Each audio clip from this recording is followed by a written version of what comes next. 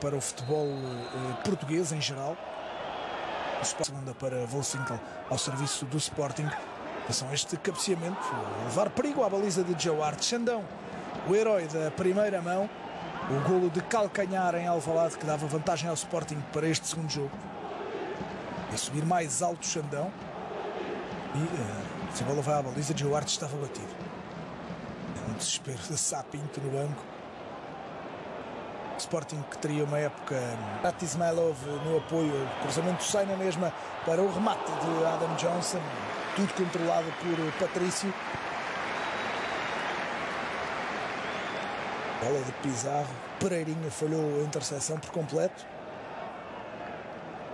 Cruzamento a sair largo e Adam Johnson de primeira tentar a finalização.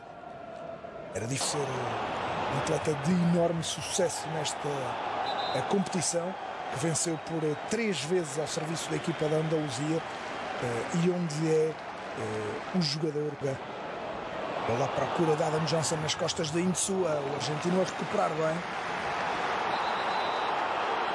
E fora de jogo, assinalado Adam Johnson.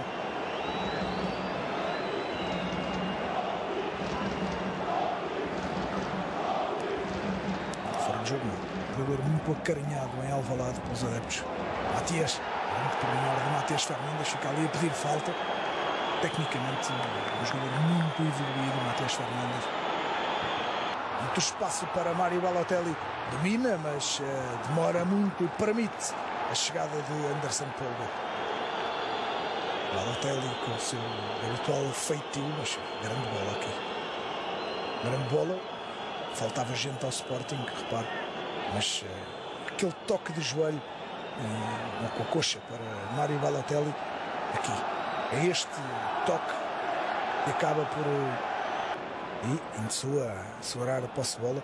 Insua um lateral muito ofensivo. Aqui a falta assinalada sobre Diego Capel. Falta de livre para Matias. Livre de Matias Fernandes. Atenção Sporting com Ismailov. Matias. E atenção que fica caído na área a pedir a grande penalidade e a ver cartão amarelo por simulação.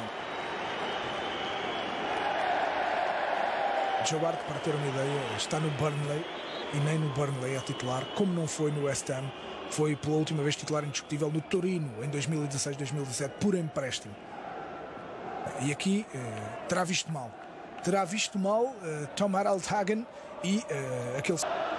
Insua, espaço para o remate, falhou a recepção e depois vem por trás Mário Balotelli a carregar o argentino. Balotelli não gostou da decisão, mas Matias Fernandes, chileno, a bater para o golo do Sporting. Golo de Matias Fernandes, minuto 33. O Sporting na frente no Etihad e a confirmar aquilo que há pouco dizia. O Sporting não estava remetido à sua defesa, estava a conseguir prevalecer a sua estratégia em jogo e consumava aqui com golos e que importante era para a equipa de Ricardo Sapinto um golo marcado fora de casa quando ainda protestava a decisão a que deu origem ao livre a Mário Balotelli, dizendo que foi carga de ombro, mas a carga de ombro não é nas costas e foi o que Balotelli fez. Bola no lado do guarda-redes. Para a área do do Sporting, procura de Yaya Touré, faz surgir um remate de Colo Touré sem perigo para a baliza de Patrício.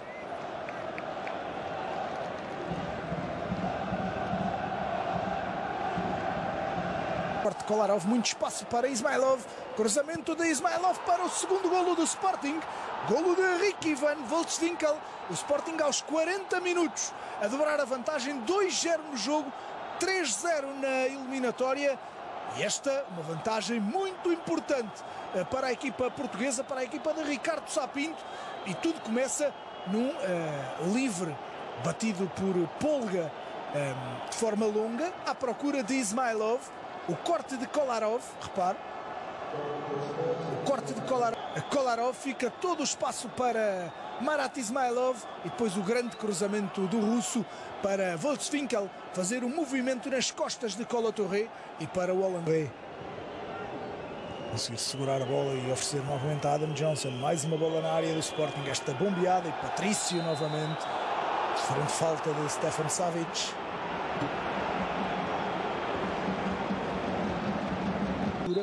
O City precisava para se apurar.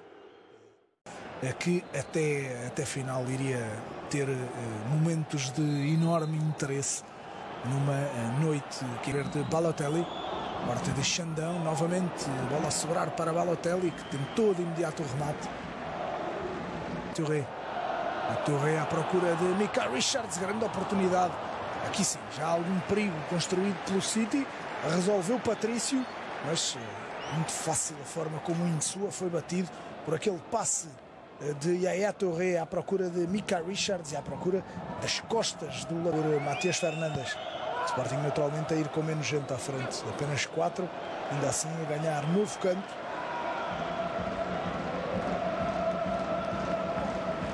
A manter a vantagem de 2-0 e de 3-0 na eliminatória. Livre para Kolarov.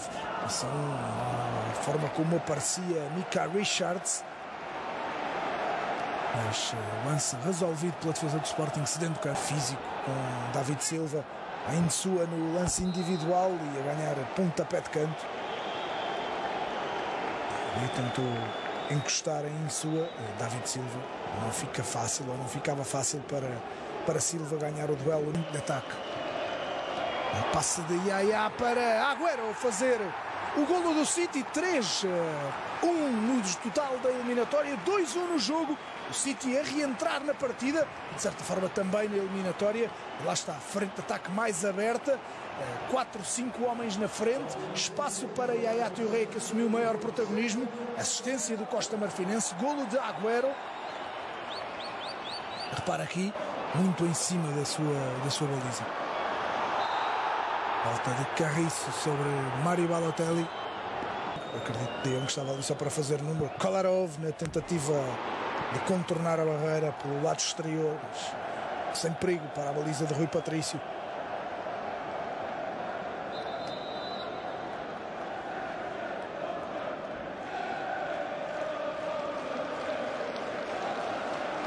Mancini não terá gostado e Kolarov tentar Zeco. Espaço para Dzeko a conseguir. Atenção a Balotelli. Patrício a sair bem.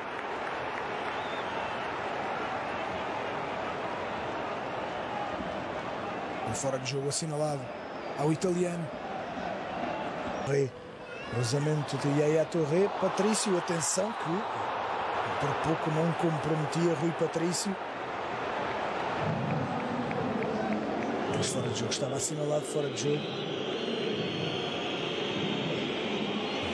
Nunca é boa ideia o guarda-redes tentar segurar a bola só com uma mão.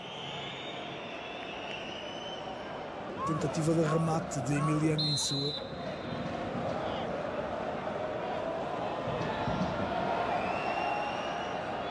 Era isso mesmo. Toque de Scars para remate. Precisava para dar a volta à eliminatória.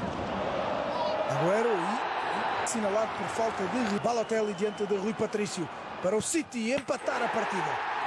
Balotelli a marcar de grande penalidade, 2-2. Ainda o Sporting em vantagem na eliminatória por 3-2 e ainda um quarto de hora pela frente, dois golos para o Sporting defender no que restava. Com a simulação de corpo, dizer, nesta altura a equipa inglesa estava a dois golos do apuramento.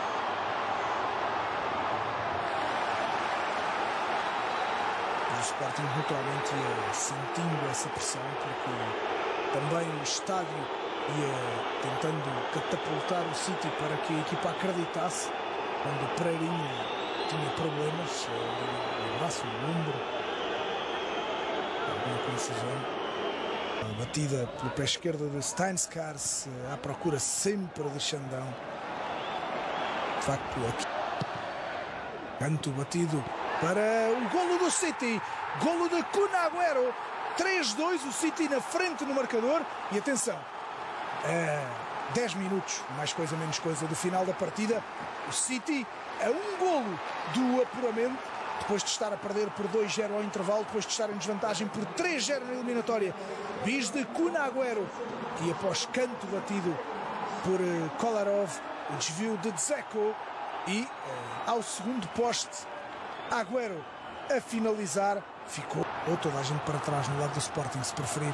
Atenção este cabeceamento, bom cruzamento à esquerda, Jacko a falhar o cabeceamento.